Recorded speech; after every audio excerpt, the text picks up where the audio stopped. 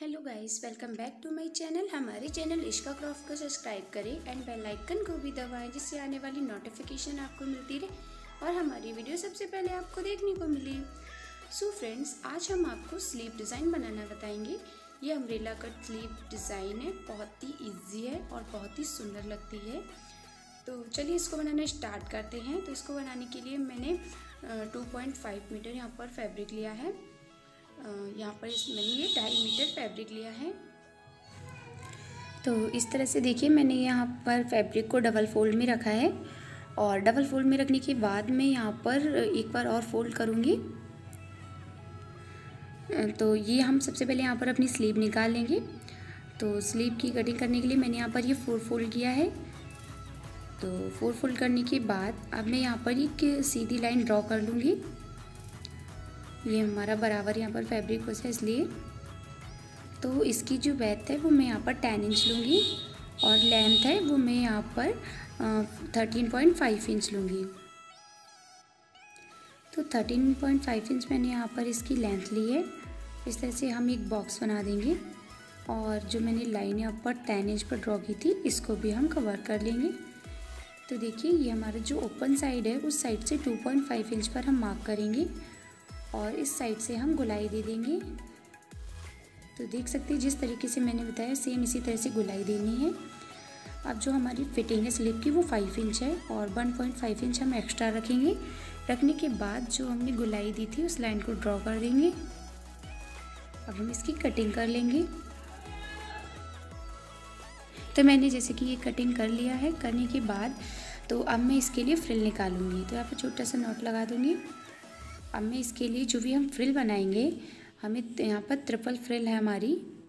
Third layer है तो हम इस तरह से फ्रिल निकालेंगे। तो सबसे पहले हम इसका, जो हमारी फैब्रिक है, इसको हम फोल्ड कर लेंगे डबल में। तो देखिए, जिसके मैंने ये डबल में फ़ोल्ड किया है, और फोल्ड करने के बाद ये हमारा देखिए आप, इसकी जो हमारी बैथ है तो वो है ट्वेंटी थ्री इंच। तो जितनी हमारी यहाँ पर लेंथ है, उतनी ही हम इसकी बैक भी रखेंगे। जैसे कि हम लंबाई और चौड़ाई इसकी एक बराबर रखेंगे बिल्कुल। तो टू मैंने यहाँ पर twenty three inch twenty three inch by twenty three inch के यहाँ पर फैब्रिक निकाला है। तो ये हमारा एकदम बराबर जो हमारा ये चारों साइड में है, एकदम बराबर फैब्रिक होगा। इसको साइड कर देंगे। साइड करने के बाद अब हम यहाँ पर जैसे कि हमने कहा हम थर्ड लेयर निकालेंगे। तो यहाँ पर अब हम यहाँ पर सेकेंड लेयर निकालेंगे। सेकेंड लेयर निकालने के लिए तो जैसे कि मैंने ट्वेंटी थ्री इंच यहाँ पर रखा था तो मैं ट्वेंटी वन इंच रखूँगी टू इंच यहाँ पर कम कर दूँगी। तो इसकी जो लेंथ है और बैथ है, मैं ट्वेंटी वन इंच रखूँगी। तो इस तरह से मैं बराबर कर लूँगी। मैंने लाइन ड्रॉ की है और इसकी जो मैंने यहाँ पर बैथ में मार्क किया था, वो भी मैं बराबर निकाल लूँगी। तो ये हमारा ट्वेंटी वन इंच का हो गया है और मेरा ये चारों तरफ़ से ट्वेंटी वन इंच का ही है। तो इसको भी हम कट कर लेंगे। तो जिसके मैंने ये निकाल लिया निकालने के बाद इसको भी हम फोर फोल्ड करके रख देंगे। और इसके बाद अब हम यहाँ पर थर्ड लेयर निकालेंगे। तो थर्ड लेयर के लिए हम यहाँ पर फैब्रिक कम कर लेंगे साइड से। कम करने के बाद अब हम यहाँ पर 19 इंच की निकाल लिए थर्ड लेयर। 21 थी तो मैं यहाँ पर टू इंच कम करूँगी तो 19 इंच की मैं यहाँ पर लेयर निकालूँगी। तो हमारी 19 बाई 19 इंच की थर्ड लेयर निकलेगी। तो इसी तरह से मैं इस साइड को भी 19 और इस साइड को भी 19 पर मार्क करूँगी। और इस लेयर को भी मैं निकाल लूँगी। बिल्कुल बराबर रखिए हमें इस लेयर को निकालना है। इसको कट कर लेंगे। तो जिसकी ये लेयर भी निकल गई है, इसको फोर फोल्ड करेंगे। एकदम बराबर से। जिसकी मैंने ये फोर फोल्ड कर लिया है। तो यहाँ पर आप देख सकते हैं फोर फोल्ड करने के बाद, क्योंकि मेरा डबल में फैब्रिक था तो यहाँ पर ये हमारी एट लेयर हो जाएँगी। और जिसकी मैंने यहाँ पर थ्री पार्ट कट किए तो सबसे पहले जो हमारा सबसे बड़ा वाला पार्ट था twenty three inch by twenty three inch का, उसको हम रखेंगे। ये डबल में ही फैब्रिक रखे हम इसको फोर फोल्ड कर लेंगे। तो देखिए, जिसके मैंने ये फोर फोल्ड किया है, अब इसके ऊपर में जो हमारा सेकेंड लेयर का फैब्रिक है, उसको रखेंगे। एकदम देख लेंगे हमें, जो हमारा बन साइड होता है, वो हमारा एक ही तरफ़ होना चाहिए। एक ही डायरेक्शन में हम ये सारे पार्ट रखेंगे। तो जो थर्ड लेयर का पार्ट है, उसको भी हम इसके ऊपर रखेंगे। तो देखिए, जिसके ये तीनों बराबर रख लिए हैं रखने के बाद अब इस पर हम मार्क करेंगे। तो देखिए हमारे यहाँ पर तीनों लेयर के पार्ट हैं, रखे हुए हैं। तो इसी तरह से अब हम यहाँ पर मार्क करेंगे। तो जो भी मैंने पहले स्लीव कट की है, उस स्लीव को लेंगे हम। तो जिसकी मेरी स्लीव की जो फिटिंग थी, वो फाइव इंच थी। तो इस तरह से मैं यहाँ पर इसको नाप लूँगी। तो हम आपको इंची टेप से यहाँ पर निशान लगाना बताएँगे। तो यहाँ पर थ्री थ्री इंच पर हम मार्क कर लेंगे।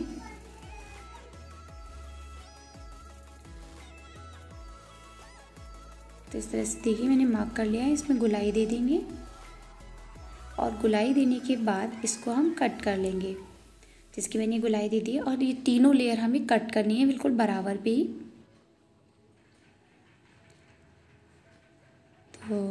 यहाँ पर हम फाइव इंच का मार्क करेंगे। फाइव पॉइंट फाइव इंच पर मार्क कर लेंगे। और इसकी भी हम गुलाई दे देंगे सेम तरीके से यहाँ पर हम गुलाई दे देंगे बिल्कुल। जो मैंने मार्क किया है उसी पे। तो देखिए मैंने ये गुलाई दे दी है। देने के बाद अब जो हमारी ऊपर की गुलाई है, ये तो हम तीनों लेयर में कट कर लेंगे। जो भी हमारी तीनों लेयर हैं कट कर लेंगे। तो जिसके कट कर लिया है अब जो हमने गुलाई का मार्क किया है, नीचे की साइड ये सिर्फ़ हमें ऊपर वाली, जो फ़र्स्ट लेयर हमारी है, उस पर ही कट करना है। बाकी की जो टू लेयर है, वो हम नीचे की साइड को छोड़ देंगे। तो इसको बिल्कुल बराबर कट कर लेंगे। तो जिसके मैंने कट कर लिया है कट करने के बाद अब जो सेकंड लेयर है उस पर मैं वन पॉइंट फाइव इंच या वन इंच का यहाँ पर एक्स्ट्रा मार्जिन छोड़ूँगी तो इस तरह से मैंने वन पॉइंट फाइव इंच का मार्क किया है। और इस मार्क को मिला लूँगी। मिलाने के बाद अब मैं सेकेंड लेयर भी कट कर लूँगी। थर्ड लेयर हमको कट नहीं करनी है सेकेंड लेयर ही कट करेंगे। तो यहाँ पर मैंने सेकेंड लेयर भी देखिए कट कर लिए। तो अब हमारी लास्ट जो लेयर रह गई है, और साइड से हम देख लेंगे, जितना भी फैब्रिक है, उतना ही उतना हम बराबर निकाल लेंगे। तो ये भी हमारा 1.5 इंच ही रह गया है। इस तरह से बराबर करते हुए हम इसको भी मार्क कर लेंगे और इसको भी कट कर लेंगे। तो यहाँ पर ही हमारी तीनों लेयर हो जाएँगी। इसको भी कट कर लेंगे। तो जिसके मैंने ये कट कर लिया है कट करने के बाद तो जो भी हमारा यहाँ पर साइड से पहले इसको ओपन करेंगे, इस तरह से डबल में। यहाँ पर डबल में ओपन कर लेंगे और साइड से हम इसको कट कर देंगे। एक ही साइड हमको कट करना है सेकंड साइड हमको कट नहीं करना है। इसी तरह से हम ये भी कट कर लेंगे वन वन साइड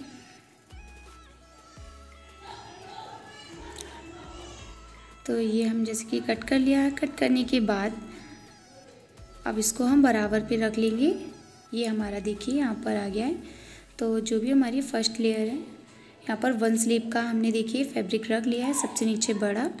उसके ऊपर छोटा, उसके ऊपर जो भी, उससे भी छोटा जो पार्ट था, वो रख लिया है और इसे पिनअप कर लिया है। तो यहाँ पर पहले हम सिलाई लगा लेंगे।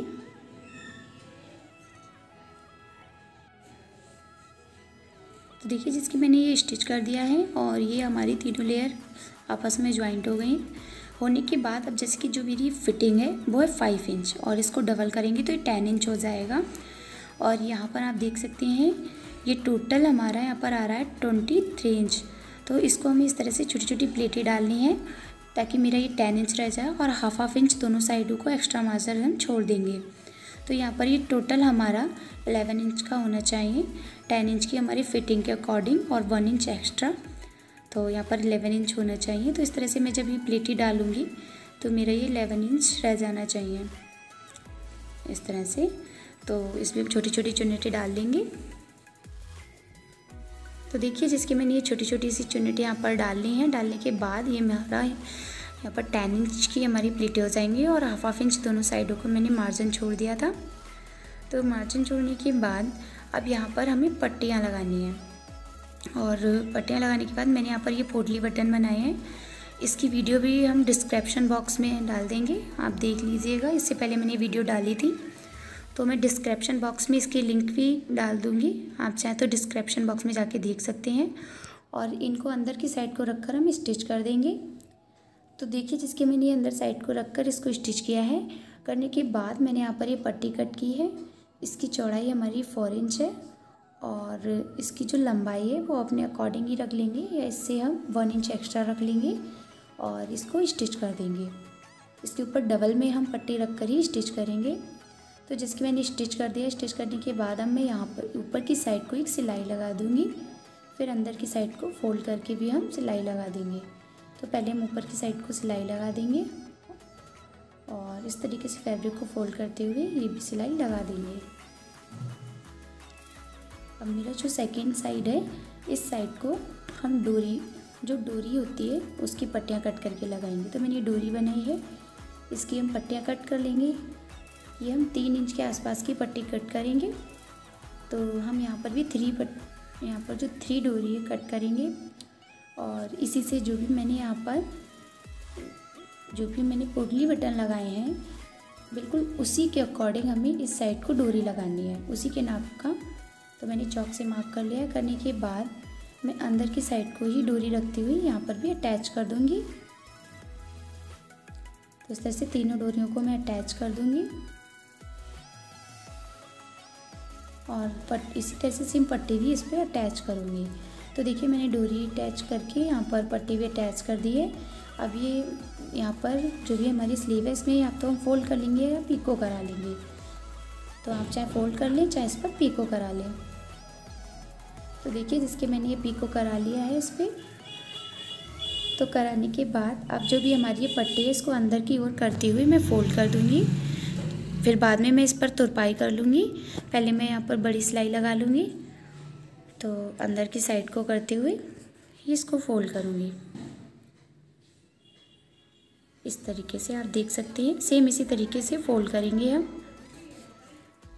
अंदर की साइड को करते हुए फोल्ड कर लेंगे।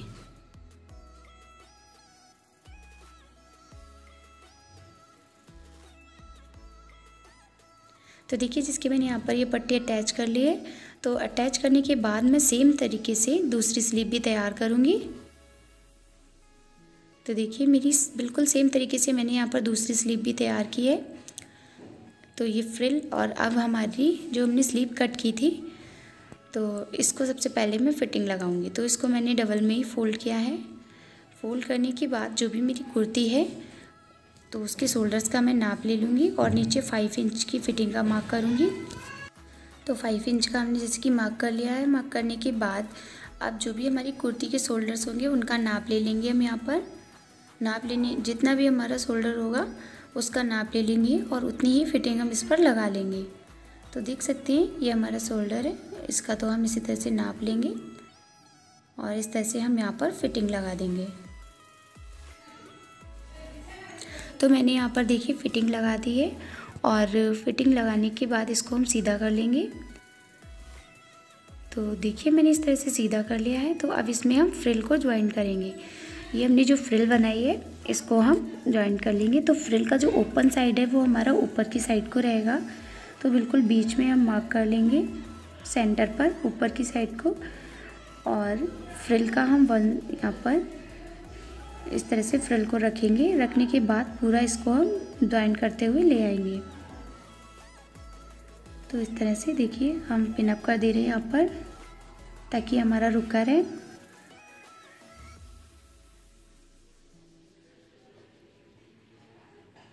इसी तरह से बढ़ाते हुए हम इसको पिनअप कर लेंगे, फिर इसको हम स्टिच भी कर देंगे। तो यहाँ पर देखिए, हमने इसको पिनअप किया है। और ये हमारा पूरा यहाँ पर कवर हो जाता है, बिल्कुल। ये ध्यान रखना है, हमें सीधा साइड मिलाते हुए ही, हमें अंदर अंदर साइड को सीधा रखना है। ऊपर की साइड को हमारा ये जो रॉन्ग साइड होता है या उल्टा पार्ट उसको रखना है। तो इस तरह से देखिए, मैंने ये पिनअप किया है। अब इसके ऊपर हम स्टिच कर देंगे। सिलाई लगा देंगे इसके ऊपर। तो देखिए मैंने सिलाई लगा दी है। लगाने के बाद यहाँ पर स्लीव हमारी जो फ्रिल है स्लीव में ज्वाइंट हो गई है। तो आप फ्रिल का जो और स्लीव का पार्ट है, वहाँ पर ही हम सिलाई और लगा देंगे। और इस तरह से पोटली बटन में हम डोरी को डाल देंगे। तो ये हमारी यहाँ पर ज्वाइंट हो जाएगी। तो ये लुक हमारा बहुत ही अच्छा आता है स्लीव का लुक तो देखिए जिसके मैंने यहाँ पर ही लगा दिया और यहाँ पर हम जिसके हम बता रहे हैं कि स्लीव और जो फ्रिल है, उसके ऊपर को हम सिलाई लगा देंगे और सेकंड स्लीव भी हम इसी तरह से तैयार करेंगे। तो यहाँ पर हमारी ये दोनों स्लीव तैयार हो चुकी हैं और मैंने सिलाई भी लगा दी है दोनों में और बहुत ही ईजिली तैयार हो गई हैं और फ्रिल भी बहुत अच्छा लुक देती है ये पहनने के बाद। तो इसी तरह की अगर आपको और भी स्लीव डिज़ाइन सीखनी है तो हमें कमेंट में ज़रूर बताएँ और अगर वीडियो पसंद आती है तो हमारी वीडियो को लाइक करें, ज़्यादा से ज़्यादा शेयर करें, एंड चैनल को सब्सक्राइब करना ना भूलें। Bye friends.